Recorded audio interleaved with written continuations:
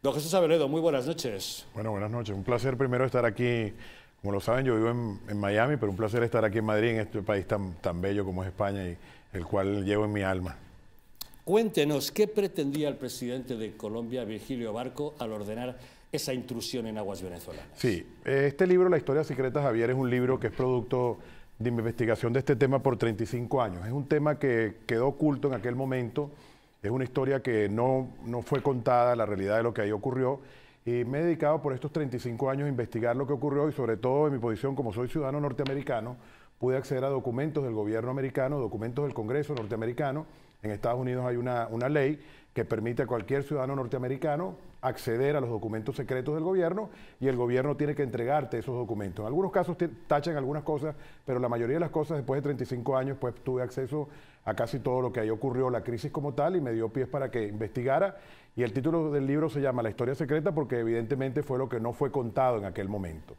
Eh, luego tuve la oportunidad de entrevistar al presidente de Venezuela, que en aquel momento era Jaime Lucinchi, y el presidente Lucinchi me dio toda la información de lo que había ocurrido en la crisis, cómo fue, y me pidió que no la publicara hasta que él muriera.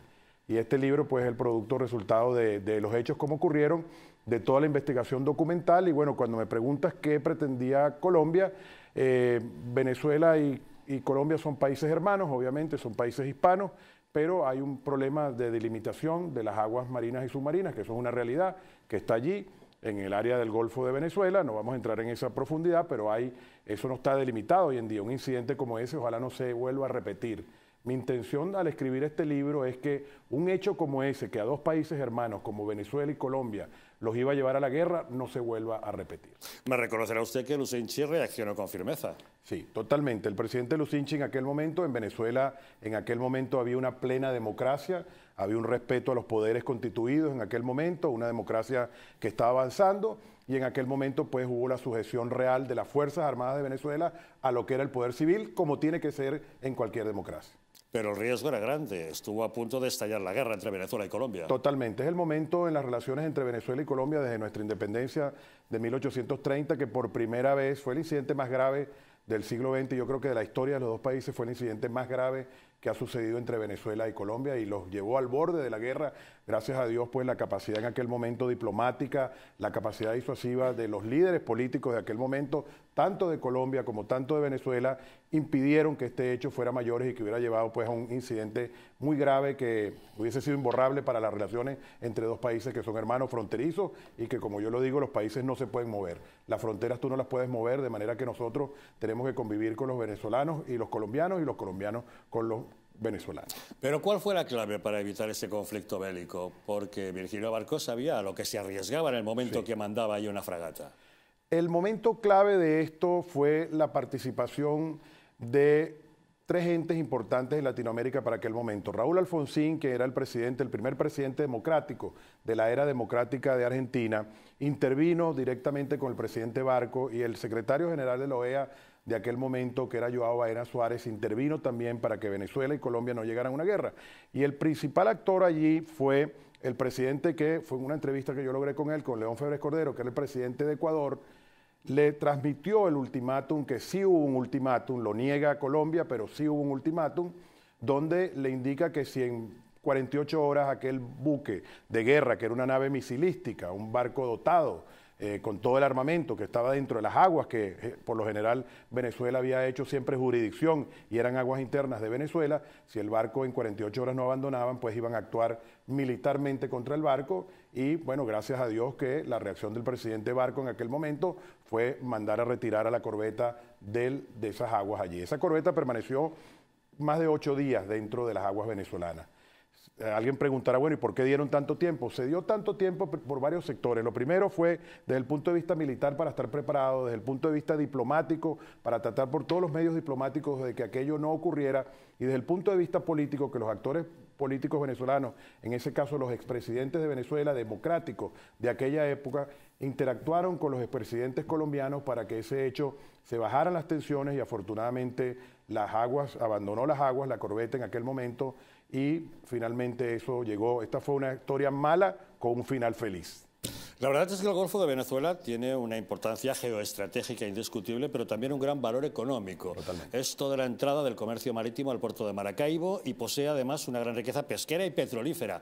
Había notables intereses en este conflicto. Totalmente. Eh, la realidad, para que ustedes lo puedan ver, hoy en día las reservas de gas probadas del mundo más grandes del hemisferio occidental están en el Golfo de Venezuela. De manera que sí hay un interés económico grande allí porque ahí están no solamente reservas petroleras, sino que hoy en día, con las investigaciones que se han hecho, están las reservas de gas más importantes del hemisferio occidental. De manera que el interés económico, como en todo interés bélico, siempre está presente. Pues en la crisis energética en la que estamos ahora con el conflicto de Ucrania, quizás se reaviven los intereses por ese Golfo. Sí, eso es lo que ojalá no ocurra, ojalá que hoy en día los gobernantes, que hay un nuevo gobierno en Colombia y el gobierno de Venezuela sepan manejar una situación como esa, como la que tú acabas de mencionar, del hecho de que no vuelva a ocurrir un conflicto. Y esa es la razón de mi libro.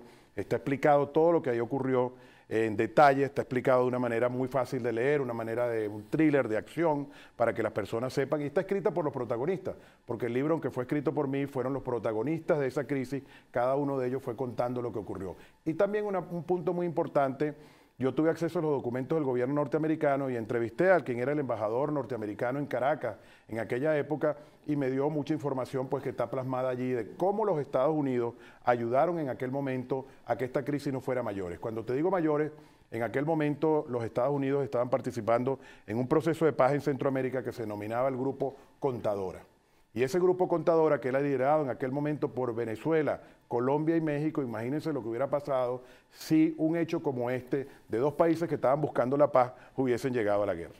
Don Jesús, ¿cuál es el secreto que más le ha sorprendido de todos los que ha descubierto tras esa documentación desclasificada 35 años después de investigar? Bueno, hubo muchos secretos, pero te puedo decir uno de los más importantes. En aquel momento, uno de los capítulos está escrito por quien era el director de inteligencia militar de las Fuerzas Armadas de Venezuela, quien dirigía toda la parte estratégica y una de las operaciones secretas más importantes, pues él después de 35 años para este libro, ya es una persona mayor, por cierto vive aquí en Galicia, España, un vicealmirante y era quien dirigía toda la política estratégica de Venezuela en aquel momento, pues contó luego de 35 años cómo iba a ser una operación muy contundente que Venezuela iba a hacer sobre Colombia. Afortunadamente eso no ocurrió, pero ahí está contada, fue uno de los hechos más impactantes. Realmente en todos los capítulos, Javier, me llevé, eh, en todos para mí fueron apasionantes escribirlos, porque cada uno de ellos tenía un secreto, cada uno de ellos tenía una incidencia, no solamente del lado venezolano, porque en ese libro yo también explico el lado colombiano, explico y doy la versión colombiana de los hechos. Obviamente entrevisté a ministros colombianos, entrevisté a militares colombianos que eran de alto rango en aquel momento, para que ellos también dieran su versión. Y realmente en el libro están contadas las dos versiones, no solamente la, versión de Venezuela, sino la versión de Colombia que difiere notablemente. En los mapas de Colombia se habla del Golfo de Coquibacoa, no del Golfo de Venezuela. No le quieren ni tan siquiera reconocer el nombre. Eso es correcto. ¿Cómo está a fecha de hoy la disputa sobre la soberanía de esas aguas que Colombia sigue reclamando? Mira, eso es un tema que en algún momento hay que resolverlo. Eso es un problema que se tiene que resolver políticamente, no militarmente. Realmente esto es un problema que está allí con el nuevo derecho del mar. Son aguas que realmente mm, hay un espacio que no está delimitado, porque en efecto Colombia tiene allí eh, tiene una, la costa y evidentemente eso le da derechos de agua marítimo que hay que reconocer y en algún momento dos países hermanos tendrán que ponerse de acuerdo de cómo van a resolver ese conflicto que está latente allí porque todavía esas aguas no están delimitadas y como tú lo acabas de decir, para Colombia son aguas, una parte del Golfo de Venezuela, ellos pretenden tener soberanía sobre esa área y obviamente Venezuela también pretende ser soberanía. Pero lo que tú has dicho más importante es que también están los intereses comerciales de las grandes empresas de energéticas del mundo que evidentemente están tras esos yacimientos de hoy en día de gas, porque hoy en día antes era el petróleo lo más importante allí, pero hoy en día te puedo decir que lo más importante que hay allí son las reservas probadas que hay de gas, que es una energía que requiere el mundo hoy en día, sobre todo como tú lo acabas de decir, después de toda esta crisis energética que hemos vivido. Pero no nos engañemos, este no es el, el único conflicto limítrofe entre Venezuela y Colombia, hay más. Hay muchos más. ¿Tendrá solución? Bueno, esperemos que se pongan de acuerdo. Como te digo, eh, esto es un problema político y espero que los políticos tengan la inteligencia suficiente para poder solucionar un problema de esta categoría. Un auténtico thriller, una auténtica historia secreta que está ilustrada justamente con los dos aviones F-16, la imagen real de aquellos que sobrevolaron la corbeta en esos días. Se lee como una novela, pero es una historia real. No, Jesús, no quiero desaprovechar la oportunidad de tenerla aquí para preguntarle por este otro libro, Negocios en Florida. ¿Qué podemos encontrar aquí? Correcto. Bueno, mi trabajo, nosotros somos abogados de inmigración en Estados Unidos, yo soy abogado, es mi profesión, y me he dedicado en los últimos 30 años a todo lo que es traer inversiones a los Estados Unidos. He escrito tres libros sobre Estados Unidos. Un primer libro se titula Cómo hacer negocios en Estados Unidos. Un segundo libro se titula Su pasaporte a los Estados Unidos.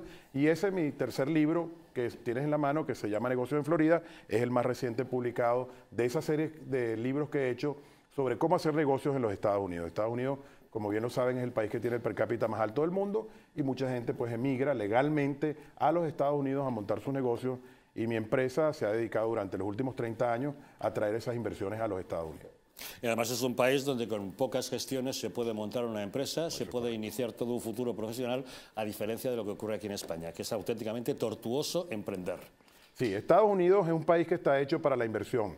Todas las personas que quieran venir a los Estados Unidos a invertir son bienvenidos. Estados Unidos es un país de migrantes donde evidentemente las personas que quieran venir legalmente al país van a ser siempre bienvenidas y como tú lo has dicho, Estados Unidos es un país que está hecho para hacer negocios. Esa es la realidad. La sociedad norteamericana se mueve en base a los negocios y el Estado propicia que obviamente eso sea sencillo para que la gente pueda traer capitales y los capitales puedan llegar a Estados Unidos y dinamizar la economía como una de las primeras economías del mundo. Don Jesús Abeledo Urdaneta, muchísimas gracias por habernos acompañado hoy en Los Intocables. Gracias por darnos claves acerca de cómo invertir en Estados Unidos y en concreto en Florida, en el estado más atractivo para hacerlo. Y muchas gracias sobre todo por esta historia secreta que se puede leer como una novela de misterio, de traiciones, de espionaje, y de una guerra que no llegó a ser, pero que es todo una verdad, que es auténtica historia. Muchísimas gracias por compartirla con nosotros. Muchas gracias.